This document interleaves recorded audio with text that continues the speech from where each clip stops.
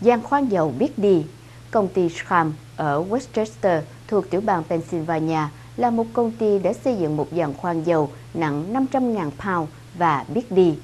Đây là một kỹ thuật mà chỉ có một vài công ty trên toàn thế giới có thể làm được. Giàn khoan này có thể tự mình di chuyển từ lỗ khoan này sang lỗ khoan khác, được điều hành bởi điều khiển từ xa và tự động nạp ống dẫn. Thay vì những van và mặt đồng hồ, thì phòng điều khiển có joystick thu hút một thế hệ công nhân lớn lên với những video game. Giang khoan T500XD cần rất ít người để điều hành và có ít rủi ro hơn.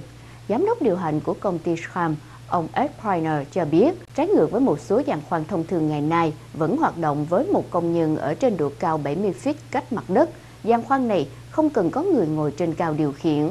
Giàn khoan tân tiến này an toàn hơn, thông minh hơn và nhỏ hơn.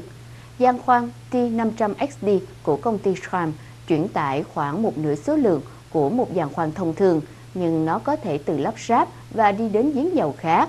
Nếu có một vấn đề, giàn khoan có thể gửi dữ liệu về trụ sở của công ty Schramm, nơi các trục trặc có thể được xác định và sửa chữa.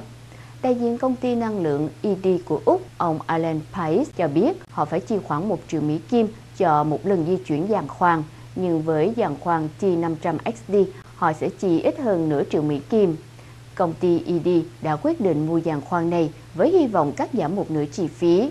Công ty Schramm đã đạt được danh tiếng quốc tế trong năm 2010 khi giàn khoan của công ty có biệt danh là phép lạ đã đến được trước nhất 33 người thợ mỏ Chile bị mắc kẹt dưới một mỏ đồng sâu nửa dặm trong hơn 2 tháng.